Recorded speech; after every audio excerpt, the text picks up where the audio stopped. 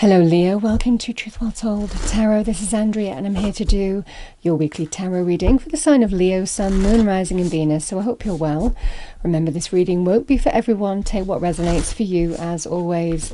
We're looking at the 24th to the 30th of October 2022.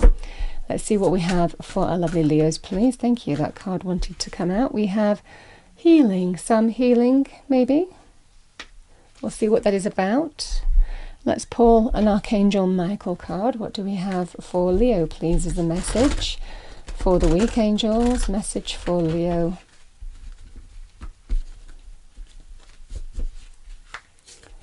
What is the message for Leo? Thank you. Message for Leo. Thank you.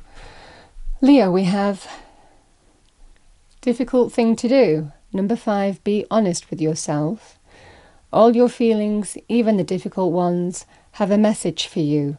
Accept the truth, then let Source take it from there.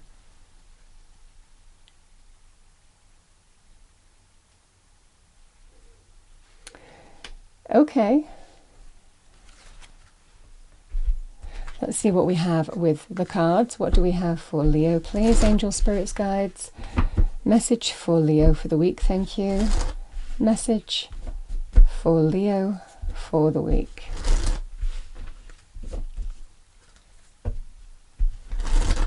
Overarching energy first, thank you for Leo.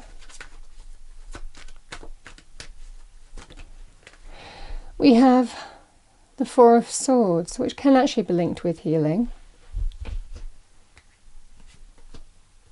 The Knight of Swords.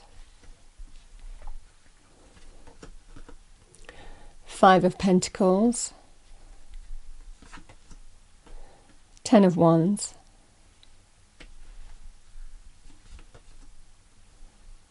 Ten of Pentacles,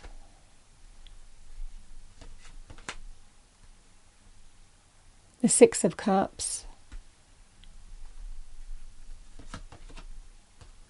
Ace of Cups, and we have the Sun. There's a feeling of liberation here.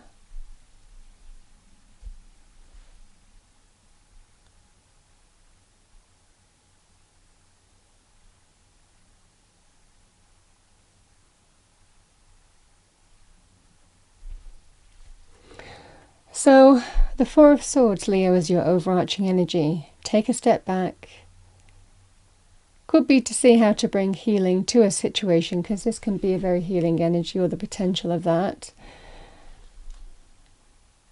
This feels like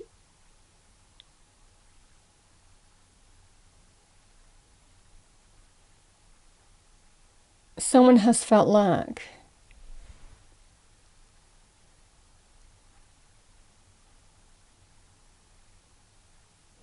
And there's there is a conversation here or an opportunity for a conversation because I don't think it's been happening yet. With the Ten of Pentacles, long term committed relationships, marriage, long term stability and security.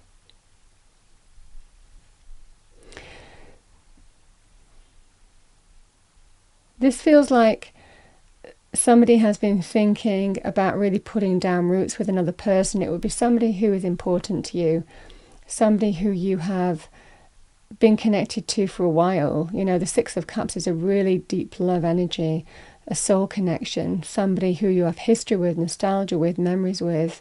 Now, this could also be family. You know, this could be healing a family rift, or it could well be bringing healing within a relationship here.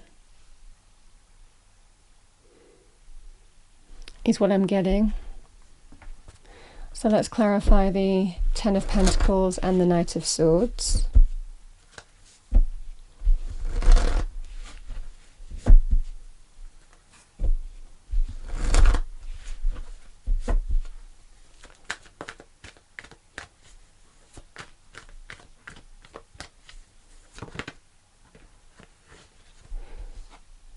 We have the Eight of Cups. Walking away. Somebody wants to reconnect to somebody who walked away. Let's uh, clarify the Five of Pentacles and the Six of Cups. The High Priestess, trusting your intuition.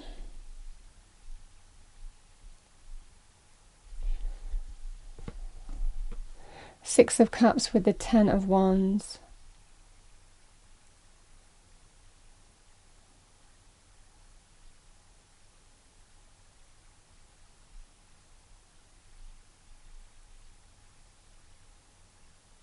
Let's do the sun.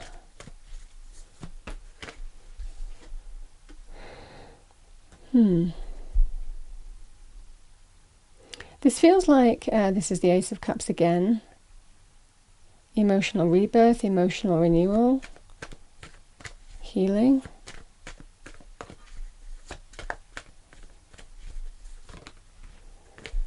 Yeah, Page of Cups. Knight of Pentacles. Yeah, there's a feeling here, Leo, a conversation, there's a, there's a worry about somebody walking away. So this person knows that a conversation needs to be had about long-term commitment of a relationship. And that's what I'm getting here. This is the energy here. Somebody has, may walk away and that's why somebody's saying, okay, I need to have this conversation about long term committed relationships, marriage, even. Because somebody is about someone, it looks like somebody wants to walk away. Why does somebody want to walk away? Why does somebody want to walk away?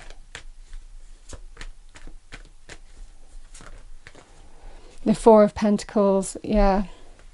Because somebody won't give. So they're not. Someone's not giving. They're only prepared to go so far. They won't step into the unknown and step up and move past the comfort zone. That's the energy here.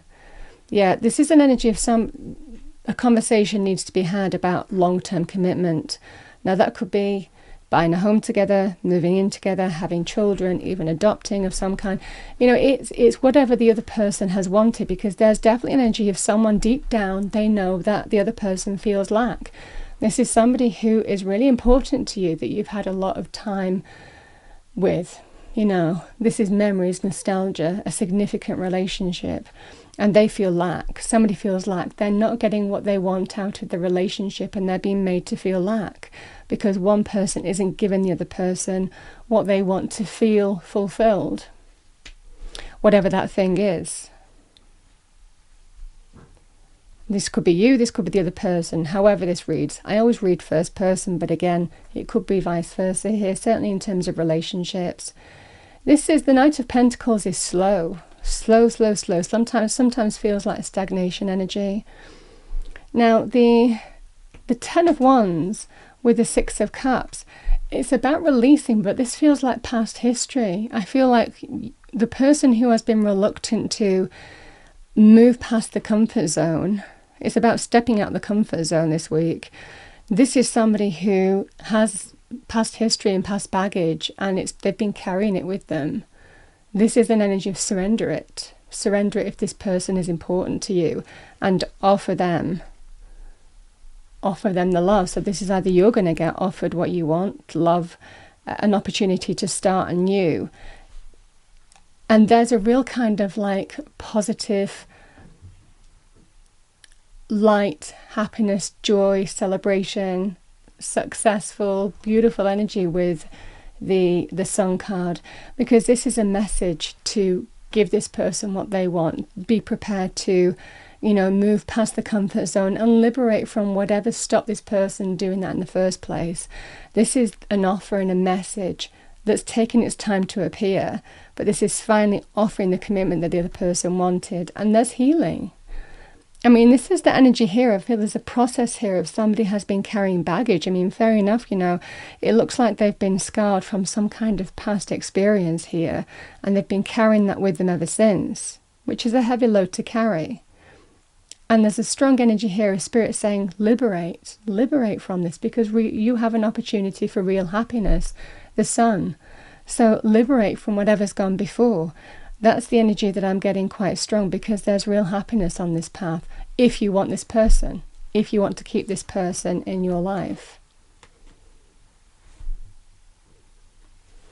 that's what I have for the week.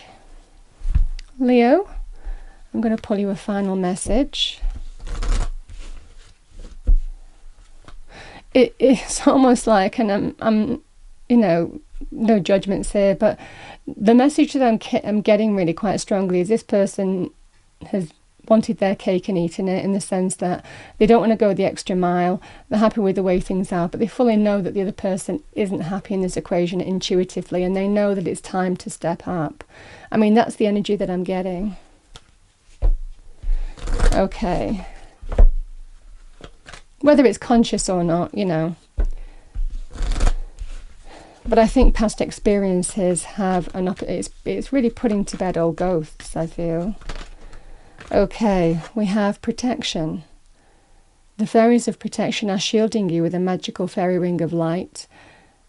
Practice psychic protection before embarking upon a spiritual work. Yeah, deep down, this is an energy of you know what you need to do to protect what's important to you. Again, you or the other person. That's what I have for you for the week, Leo. I hope you enjoyed the reading. If you did, please do like, share, and subscribe. I wish you a lovely week, and I will see you next time.